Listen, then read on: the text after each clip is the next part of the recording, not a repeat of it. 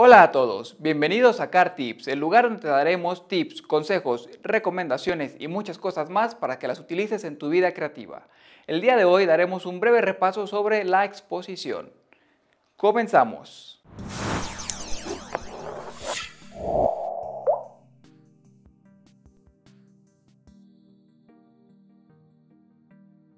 En fotografía, cuando hablamos de exposición, nos referimos a la cantidad de luz que entra a nuestro sensor.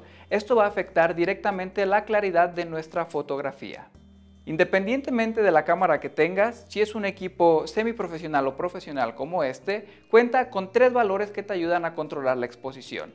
Estos son la apertura de diafragma, el ISO y el obturador. El diafragma es un mecanismo con el que cuentan todos los objetivos que funciona como una pupila, que se abre y se cierra para controlar la cantidad de luz que entra a nuestra cámara.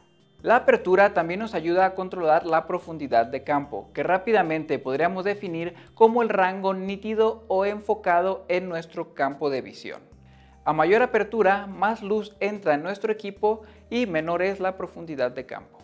La sensibilidad ISO se refiere a la respuesta de nuestro sensor hacia la luz. Esta se enumera a partir de 100 y se va duplicando. Por ejemplo, ISO 100, 200, 400, 800, etc. Cuanto más chico sea este número, menor va a ser la respuesta de nuestra cámara hacia la luz, por lo que necesitaremos un espacio más iluminado.